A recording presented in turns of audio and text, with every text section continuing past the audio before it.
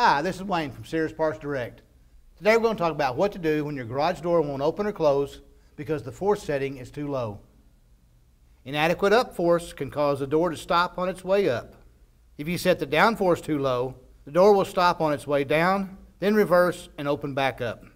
Now, if the opener lights are blinking, you likely have a safety sensor problem.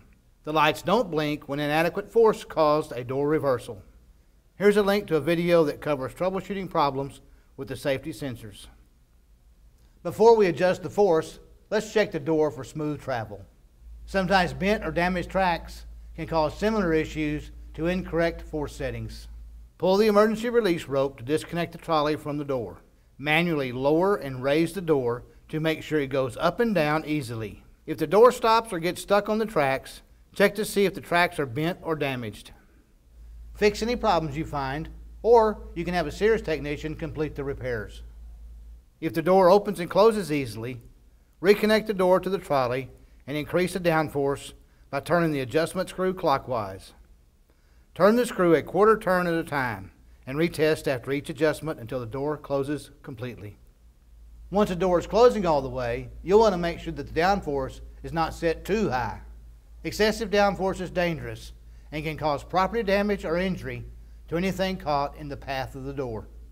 Close the door with the opener and carefully grab it with your hand when the door is halfway down to make sure that the downforce isn't excessive. If you can stop the door using your hand, then no further adjustment is necessary. If you're unable to stop the door with your hand, reduce the downforce in small increments. Make adjustments until the door closes completely on its own, but will still stop when you catch it halfway down.